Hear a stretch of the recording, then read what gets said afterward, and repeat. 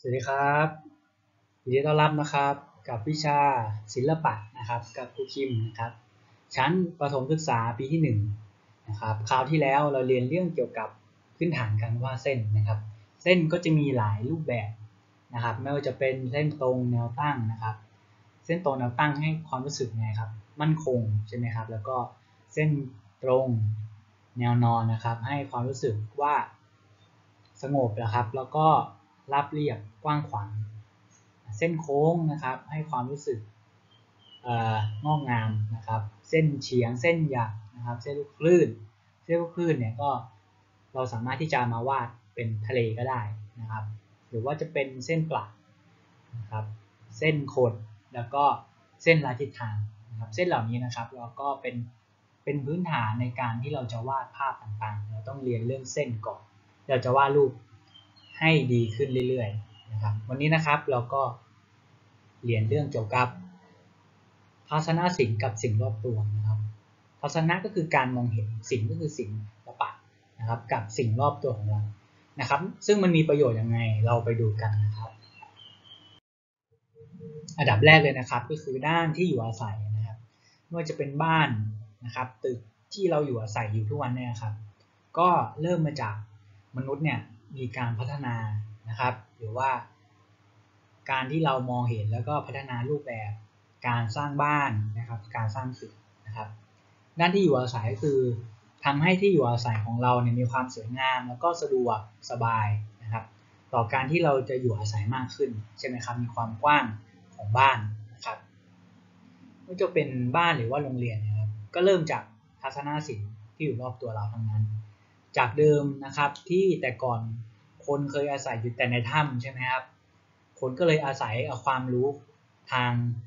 ทัศนศิลป์นะครับ มาเป็นปัจจัยหนึ่งในการสร้างที่พักอาศัยอย่างง่าย ๆนะครับ โดยใช้วัสดุจากธรรมชาติ จน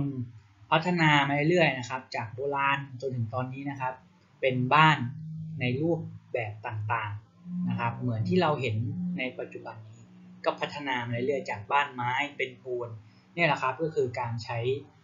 ความรู้ทางทัศนศิลป์มาทำให้เกิดประโยชน์ในชีวิตประจำวันนั่นเอง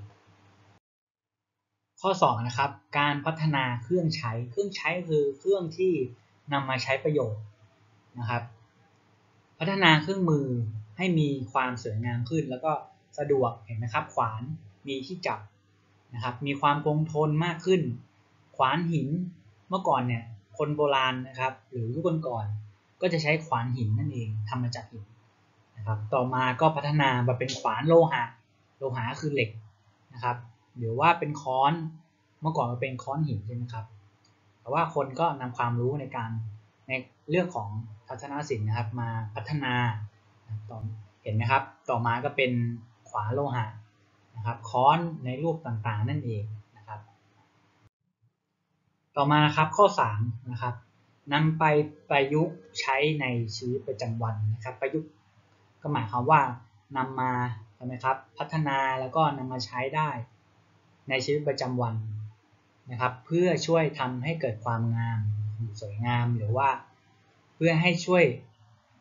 นะครับเพื่อช่วยในการถ่ายทอดความรู้ทำให้เข้าใจได้ง่ายขึ้น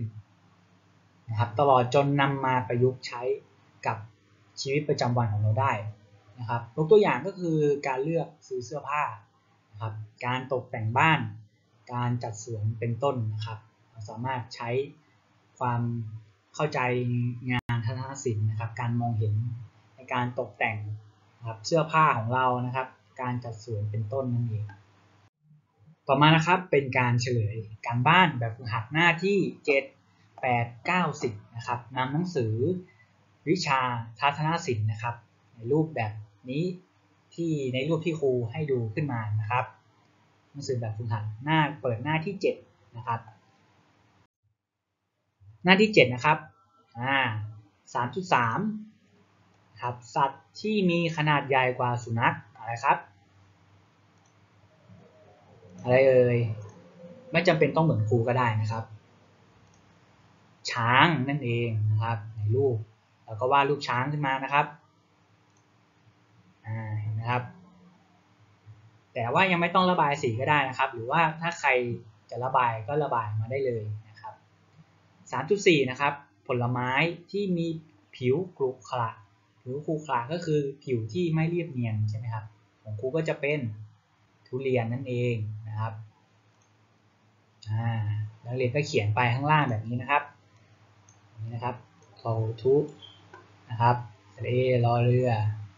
สระอียอยักษ์หนูทุเรียนนะครับ และเป็นช้างนะครับ เขียนข้างล่างด้วย ต่อมานะครับ ข้อ 4 ให้นักเรียนวาดภาพลวดลายตกแต่งถุงเท้าโดยใช้เส้นต่างๆ แล้วระบายสีให้สวยงามอ่าตรงนี้ต้องระบายสีแล้วนะครับ ตัวอย่างนะครับก็จะเป็นใช้เส้นต่างๆนะครับ เส้นโค้งอย่างนี้ก็ได้นะครับหรือว่าเส้นลูกคลื่นก็ได้ ตกแต่งให้สวยงาม นะครับ ก็ระบายสีไป อันนี้ตัวอย่างนะครับ ระบายสีไปให้เต็มนะครับ ให้นักเรียนเขียนเครื่องหมายถูกลงในนี้นะครับ หน้าคำตอบที่สรุปความรู้ได้ถูกต้องสรุปความรู้นั่นเองนะครับอันแรกคือสิ่งต่างๆ รอบตัว มีรูปร่างลักษณะและขนาดที่แตกต่างกัน หรือว่า สิ่งต่างๆ รอบตัว มีรูปร่างลักษณะและขนาดที่เหมือนกันคำตอบที่ถูกต้องคืออะไรครับอ่าอันบนนะครับ สิ่งต่างๆ รอบตัวมีรูปร่าง ลักษณะและขนาดที่แตกต่างกันนะครับ ไม่ว่าจะเป็นบ้านหรือว่าเป็นต้นไม้นะครับ ทุกอย่างรอบตัวเนี่ยมันไม่เท่ากันบางอันจะเล็กกว่ามันอาจจะใหญ่กว่านั่นเองนะครับ ต่อมาด้านล่างนะครับ ให้นักเรียนใช้ดินสอระบายลงในวงกลมนี้นะครับ หน้าคำตอบที่ถูกต้องให้เต็มวงนะครับ ข้อที่1นนะครับ ภาพนี้เป็นรูปร่างของอะไรครับนนี้นะครับ ข้อที่ 1 ข้อ 1 ถุงมือ ข้อ 2 ถุงเท้า ข้อ 3 เสื้อครับคำตอบที่ถูกต้องคือ ถุงมือครับ ใครตอบถูกได้ 1 คะแนนแล้วนะครับ ข้อที่2นะครับ รูปภาพนี้ ประกอบด้วยเส้นใด ข้อ 1 เส้นโค้ง ข้อที่ 2 เส้นหยัก ข้อที่ 3 เส้นตรงครับคำตอบที่ถูกต้องคือ เส้นโค้งนั่นเองครับส้มเห็นไหมครับ มีลักษณะที่โค้งกลมวงกลมนี้นะครับ ข้อที่ 3 ครับ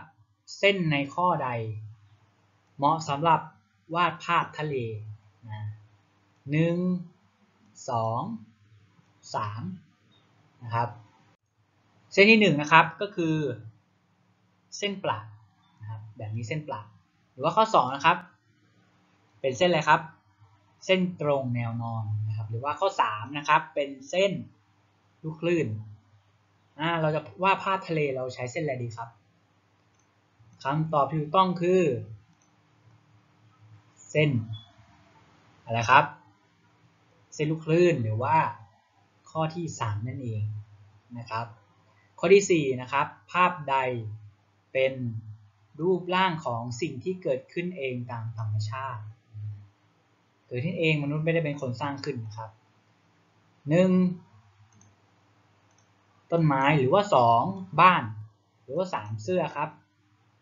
อะไรที่เกิดขึ้นเองตามธรรมชาติครับ ข้อ1นะครับต้นไม้นะครับ ข้อที่5นะครับ ข้อใดควรมีพื้นผิวแข็งจับรู้สึกแข็งมากควรที่มีพื้นผิวแข็ง 1. หมอน ข้อ 2 ดินสอหรือข้อ 3สำลีครับ ผิวแข็งครับ ตอบว่า ดินสอนะครับ เพราะว่าดินสอเนี่ยเราจับเป็นไม้ใช่ไหมครับ มีความแข็งนะครับหมอนก็นุ่มสำลีก็นุ่ม ข้อที่ 6 ภาพใดควรมีขนาดใหญ่ที่สุดขนาดใหญ่ที่สุดคือ1คืออะไรครับดอกไม้หรือว่า 2 กระดานนะครับ หรือว่า 3 หนังสือคำตอบต้องคือกระดานนั่นเองนะครับ กระดานไว้บอร์ดไว้เขียนนะครับ ข้อที่ 7 ข้อใดมีรูปร่างคล้ายกัน 1 คือยางลบใบไม้ หรือว่า 2 ประตูมังคุด หรือว่า 3 เหรียญดวงอาทิตย์อันไหนคล้ายกันครับอ่าเหรียญกับดวงอาทิตย์ เพราะว่ามีลักษณะรูปร่างเป็นวงกลมเหมือนกันใช่ไหมครับเหรียญนะครับเหรียญบาทเหรียญสิบเหรียญห้านี่มีวงกลมเป็นวงกลมนะครับ ส่วนดวงอาทิตย์ก็จะเป็นวงกลมเหมือนกันนั่นเอง ข้อที่ 8 นะครับ ภาพนี้เกิดจากรูปร่างในข้อใด ภาพนี้นะครับ 1. รูปเลขาคณิต หรือว่า 2. รูปร่างธรรมชาติ หรือว่า 3. รูปอิสระครับคำตอบที่ถูกต้องคือ รูปร่างธรรมชาตินะครับ